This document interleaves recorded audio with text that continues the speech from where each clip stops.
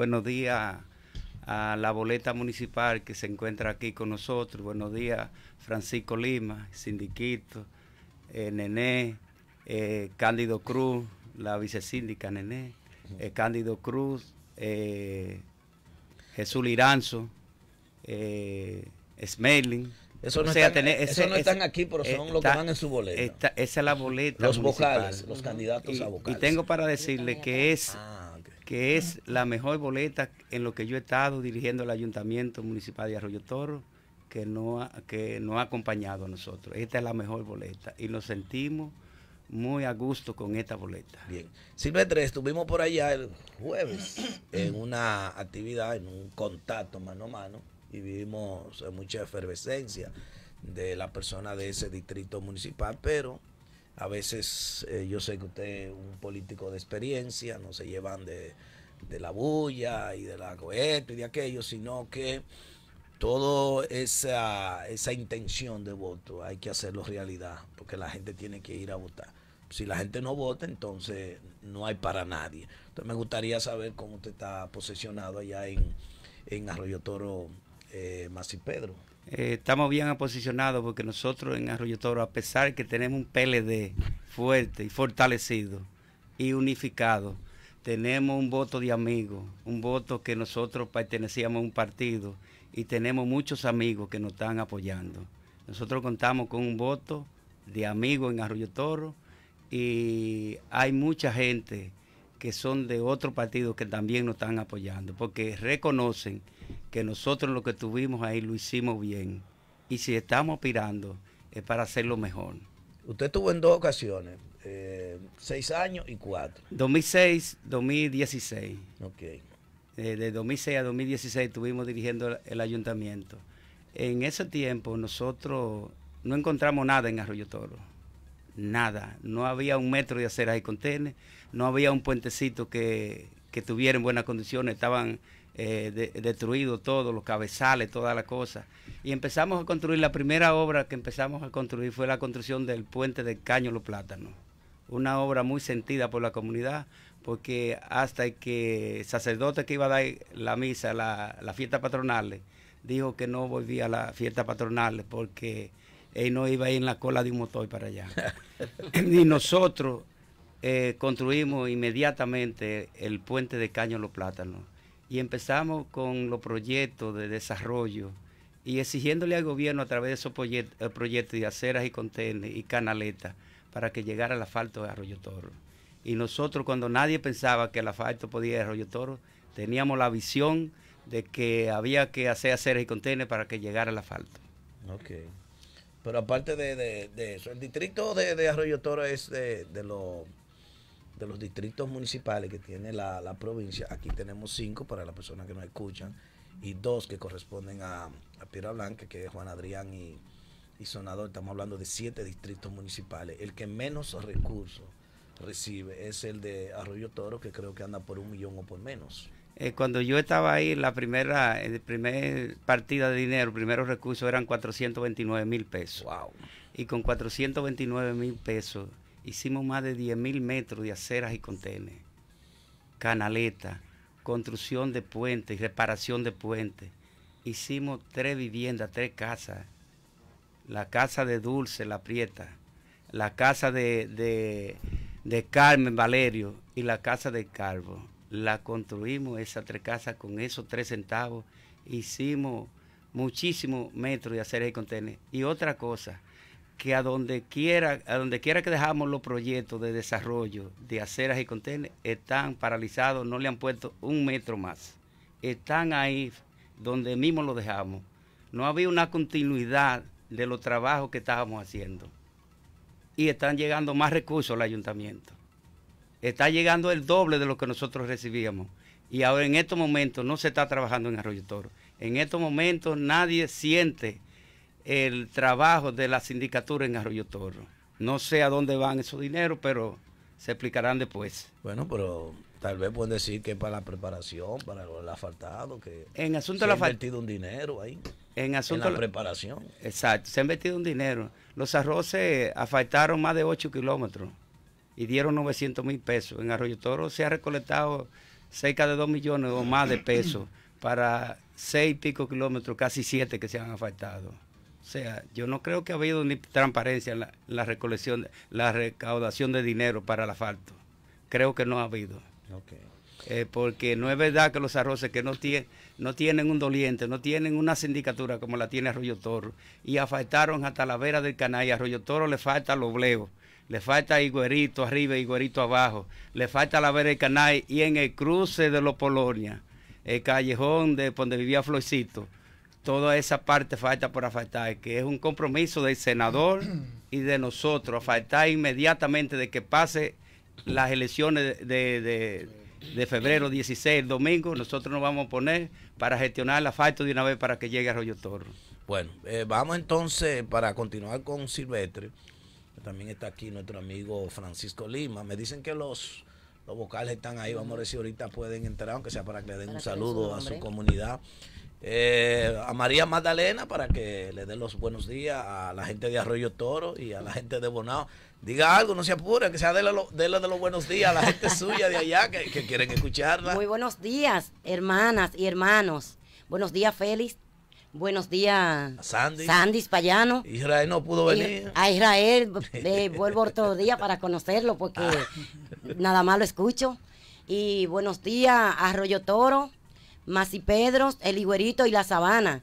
Le habla su vicesíndica, María Magdalena, cariñosamente Nené, esperando el domingo el máximo apoyo de ustedes, sabiendo que tener que ir a votar por conciencias. Y si a conciencia no vamos, Aquí está la boleta fresca, que es Silvestre Suriel, María Magdalena y los regidores, que más tarde ustedes lo escucharán. Gracias. Bien, pues gracias María Magdalena.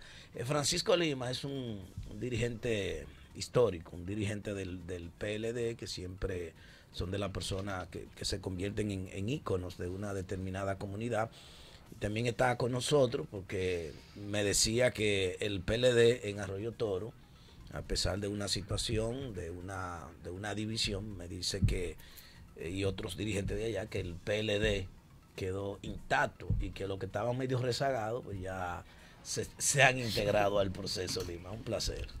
Eh, buenos días, Feli. Buenos días, Sandy Payano. Buenos días al próximo director, conjuntamente con las boletas eh, municipal que nos acompaña. Buenos días, provincia Monseñor Noel, doctor Mas y Pedro. Estamos aquí para hablar con la verdad. Solamente la verdad.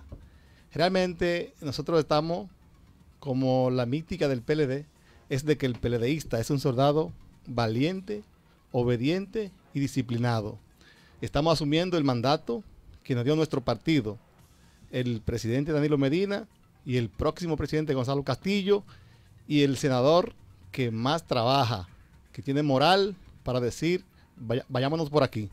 Y nos dijo, eh, ayúdenme a Suriel para que sea el próximo director y lo estamos ayudando con todo el cuerpo. Ya Suriel tiene integrado del Partido de la Liberación Dominicana más de un 95%.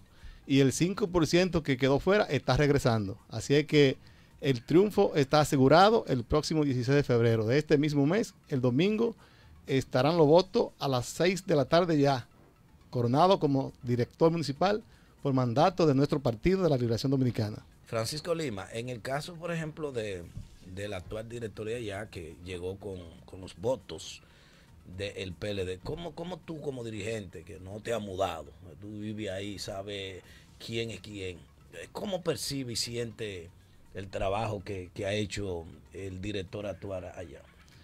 Bueno, si lo medimos con relación a los recursos que ha recibido, podemos decir que no ha hecho nada en proporción a los recursos recibidos. Es más, el INDRI en el año 2018 hizo una construcción de reparación de algunos puentes y construyó un atajo de un camino de acceso para ellos ir a los trabajos. Y por ahí era que él caminaba para no, para no darle la cara a los moradores del Coco Masi Pedro, de Arroyo Toro Abajo, y llegaba directamente al ayuntamiento por ese atajo para no ver la carretera. nosotros, como PLDistas, que le aportamos 860 votos y ellos aportaron 60, él ganó con, 920 votos. Y nosotros, que soy el esposo de la subdirectora municipal, puedo decir que no hemos tenido ningún tipo de participación, ni siquiera un vale de combustible nunca le ha facilitado la subdirectora para, para su pasola. ¿Tu esposa es la vice de, la, de la actual? la subdirectora del actual. Oh. Y ni siquiera para celebrar el Día del Niño, el Día de las Madres, el Día de los Padres, eh, darle una receta a un, a un envejeciente, a una madre soltera, una lata de leche, nada, nada, ningún tipo de participación, cero participación. Entonces, con una persona así, yo no creo que la gente tenga el descaro de dar el apoyo a una persona totalmente ingrata que traicionó al PLD y piensa traicionar a los que lo están apoyando si se zafase eh, la viga de que llegara a ser director municipal de nuevo. Porque una persona totalmente eh, que no mantiene ningún tipo de, de palabra, nadie es importante, a nadie le, nadie le importa a él, nadie es importante para él. Eh, simplemente él y su familia, incluso tiene un nepotismo en el ayuntamiento. Eh, la tesorera es su cuñada, la secretaria de la sala es su cuñada, eh, la secretaria es su sobrina, y todos viven en, en el mismo entorno. Entonces- ¿tú no quieres Imagina- allá? Ahí, oye. Imagínense, ¿qué le tocará a los dirigentes del partido que lo están apoyando si llegase a ser director municipal de nuevo? Yo creo que debe tomar conciencia porque no podemos permitir que la gente grande nos engañen. Y el muchacho malcriado no se da raya dos veces. Señores, vamos a continuar 7.58 minutos. Eh, dice Francisco Lima con relación a un atajo para el actual director y todo eso. Pero a usted se le critica que usted no había pasado más por Arroyo Toro, que usted vive aquí adelante. Eh, ¿Qué cierto es de eso? Usted no, no, no había, no se había interesado nunca más por Arroyo Toro. Eh, nosotros sí nos hemos interesado siempre por Arroyo Toro. Eh, en los actuales momentos somos los que tenemos la, la preferencia más mejor en Arroyo Toro porque hemos sido amigos de la gente de Arroyo Toro. Por eso hablé del voto de amigo, porque nosotros tenemos un voto de amigo y nosotros nos hemos interesado toda la vida por Arroyo Toro. Cuando en Arroyo Toro se puso el cuartel para, para comprar el motor, nosotros dimos el primer aporte y no pensábamos en sindicatura cuando en Arroyo Toro hacía falta por una receta, nosotros eh, dábamos recursos para la receta y no había ayuntamiento. Hemos sido una persona totalmente de la, de la comunidad, del distrito municipal de Arroyo Toro. Y aquí están la gente de Arroyo Toro que saben que yo me he manifestado siempre por esa comunidad. Eh, nosotros no teníamos una boleta, no estábamos inscritos porque no, no estábamos brincando de un partido a otro y por eso nosotros no teníamos una posición definida en la política de Arroyo Toro. Y después que fuimos candidatos, escogidos como candidatos de la alianza PLD-PRD, nosotros en estos momentos estamos asumiendo la candidatura para que Arroyo Toro vuelva el síndico y vuelva el desarrollo a Arroyo Toro. Bueno, aquí vamos a ver alguna persona. Sandy, vamos a ver si podemos, a ver si por los regidores, los vocales, perdón, los candidatos, aunque sea, puedan eh, entrar, ¿verdad? Y por lo menos darle el bueno. Dice Juana Iris Cruel que Jesús Liranzo será nuestro regidor. Chani Núñez nos está dando los buenos días. Eh, Fausto Collado también está aquí con nosotros. Eh, dice para que pida cacao Macorís. Dice Ramón no ha hecho nada. Eh, dice también que, bueno, que no ha hecho nada, ¿verdad? Una de las personas que están aquí interactuando con nosotros. Eh, vamos entonces a continuar. Silvestre, usted ha dicho de, bueno, aquí están los, los tres que van para por lo menos que, que la gente lo, lo escuche, lo vea, le den los buenos días, los que se puedan acomodar, se acomodan. Denme la silla a la dama, ¿verdad? Porque la dama tiene que sentarse, no me la dejen parada, porque entonces, ¿verdad? Eh, Silvestre, en el caso suyo, usted ha dicho obras que en su gestión logró realizar. Ahora, si usted es el favorecido el domingo con el voto de la gente de Arroyo Toro, ¿cuáles planes, proyectos usted entiende que se deben ejecutar, que no pueden esperar para mañana, que lo necesita de ya el, su distrito municipal de Arroyo Toro? El asfalto. Es lo primero que vamos a hacer, gestionar para que en Arroyo ya falta Toro... poco. Cinco kilómetros faltan de asfalto todavía. Y esa, la comunidad de Lobleo, donde era actual alcalde, no hay un metro de asfalto y era que estaba manejando el asfalto. Nosotros vamos a gestionar para que en Lobleo llegue el asfalto, para que llegue el asfalto en la sabana, y güerito arriba y güerito abajo, la vera del canal y lo que falta en Arroyo Toro arriba, lo vamos a, gestionar para que se logre de una vez inmediato con nuestro senador y próximo senador. Ustedes no tienen un distrito ya, un, perdón, un local, un palacio. No municipal, tenemos un palacio municipal, pero vamos a construir el palacio. Eso está dentro de los proyectos que tenemos, 2020-2024, eh, la construcción del Palacio Municipal. Eso es un sueño que queríamos enfrentarlo, pero por no dejar deuda en la gestión pasada, que fuimos de los pocos ayuntamientos que no dejó un peso de deuda y que pagamos las prestaciones laborales y que compramos un camión y que no dejamos una goma de deuda de ese camión, fuimos nosotros. No vamos a recibir una bicicleta que nos van a dejar, porque tienen que estarse preparando porque se van, porque lo que se sienten en Arroyo Toro es que se van el domingo, se van, se van de que se van. El PLD lo puso el PLD tiene la maquinaria de, sacarlo para afuera.